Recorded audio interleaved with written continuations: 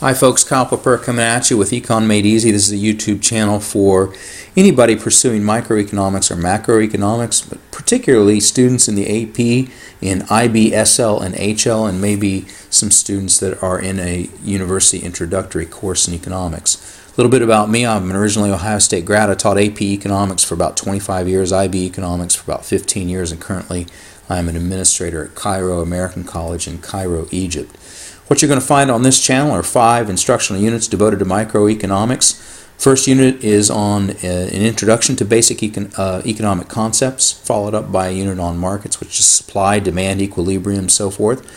That's followed by a specific unit on theory of the firm, which is applicable to students in AP and IBHL, also university students.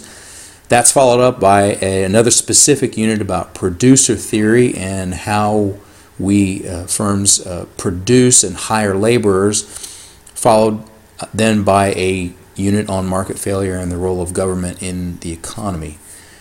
Then we've got another uh, large set of units on macroeconomics, and we start off there with a unit devoted to just basic macroeconomic measurements, what they are, followed by a specific unit on aggregate supply and aggregate demand. That's followed up by a unit on the financial sector, which is a focus on the role of central banks and how they regulate the money supply.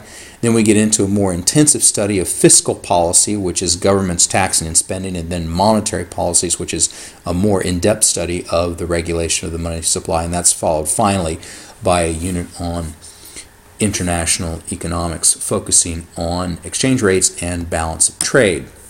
Each unit has its own playlist. Each playlist is made up of anywhere from 5 to 30 videos, some by me, some by uh, some of my colleagues that are still out there making great economic videos. Hey, thanks for watching. I hope you enjoy the channel and the videos. See you soon.